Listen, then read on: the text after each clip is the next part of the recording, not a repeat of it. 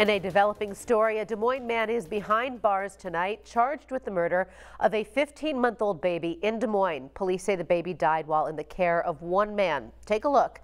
He is 28-year-old Brandon Devon Greenup. He is charged with first-degree murder. Local 5's John Diaz joins us from police headquarters in downtown Des Moines. And John, what do police say happened?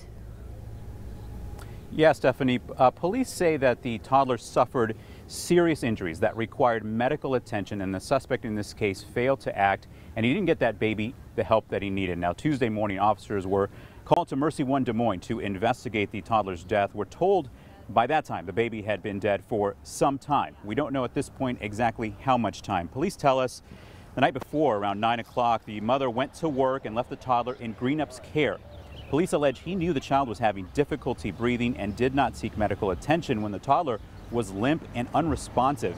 Family eventually brought the child to the hospital. Later, an autopsy showed trauma consistent with injuries that would require medical attention. Now, Greenup is also dealing with another case in January. He pleaded guilty to domestic assault causing bodily injuries. And today, neighbors telling us that they have seen quite a bit of police activity throughout the week, including this afternoon, but really never expected that this is what had happened in their neighborhood.